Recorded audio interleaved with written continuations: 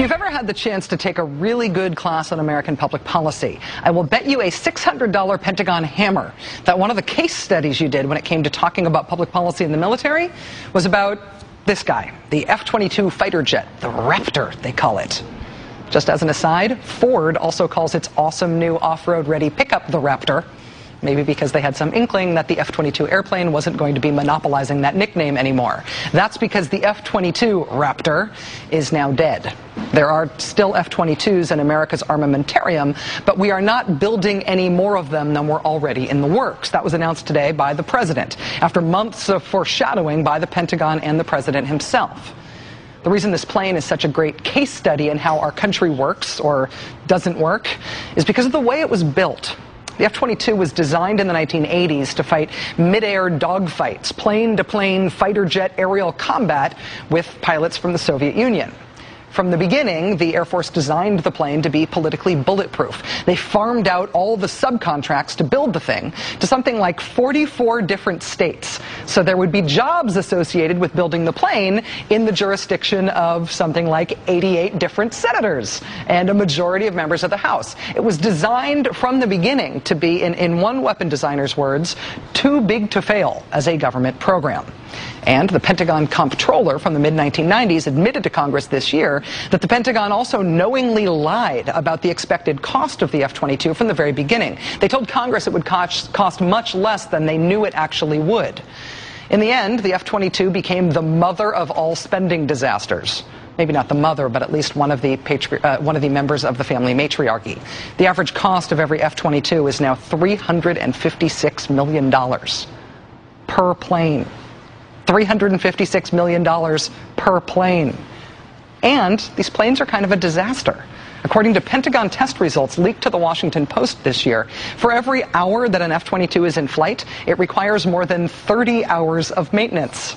On average, the plane reportedly suffers a critical failure after every 1.7 hours in the air. One former Lockheed engineer told the Post that the skin's radar absorbing super high tech skin also has what's described as a, quote, vulnerability to rain. Think Wicked Witch of the West and Dorothy throwing water on her, right?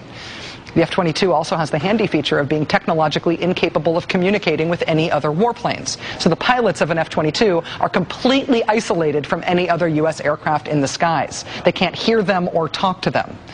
One consequence of the political trick of building parts for this thing in more than 40 states is that there are also huge quality control issues that become evident when you try to piece all those parts built all around the country together into one plane. Pierre Sprey, a weapons designer and longtime critic of the F-22, told MSNBC today that even now in 2009, parts that don't work are being retooled and refit individually by hand on the final assembly line as F-22s are being built.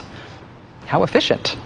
Also, by the way, the USSR, these F 22s were designed to let us dogfight with, doesn't exist anymore. No F 22 has ever flown a mission in Iraq or in Afghanistan. Its armor is so light it can't withstand even small arms fire, so it can't fly anywhere where it has to fly low. And did I mention they cost $356 million each? Despite everything wrong with the F 22, despite the untold billions we didn't spend, even within the military, even within the Air Force, on stuff we might have actually used someday, instead of these Soviet fighting Top Gun movie souvenir paperweights that melt in the rain, the, the fact that they were built all over the country and that we had dumped so many billions of dollars into them already made these planes a case study for how the country could end up spending billions upon billions of dollars for something everybody knew we didn't need. The F 22 showed how you could design a system so that every decision maker had a great locally driven reason to do something that was bad for the country. And then something totally unexpected broke out political leadership.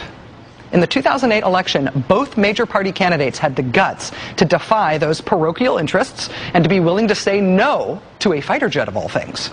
And they had the guts to say enough is enough this zombie spending suck that no one could justify, but that just wouldn't die. Once President Obama was elected, Defense Secretary Bob Gates took the zombie on. And with regard to something like the F 22, if we can't bring ourselves to make this tough but straightforward decision, where do we draw the line? And if not now, when? If we can't get this right, what on earth can we get right? Senator John McCain, Republican, and Senator Carl Levin, the Democrat who chairs the Armed Services Committee, ended up co-sponsoring the bill to kill the zombie F-22. Republican Bush holdover Defense Secretary Bob Gates championed it, as you just heard. President Obama threatened to veto the defense budget if it didn't kill the F-22. And today, it finally died and America's longtime textbook case study of stupid stuff on which we spend billions, even though we know it's stupid, has a surprise ending. There are still going to be uh, 187 of these bad boys in America's fleet, and who knows, maybe the USSR will rise from the dead and give us a use for them someday. But until that day comes, the only conceivable way we would ever have to or want to use one of these planes is if we were stupid enough to sell them to other countries who might want to use them against us someday. Did I mention that members of Congress are urging that we keep building this thing to sell it to other countries? Are you kidding me?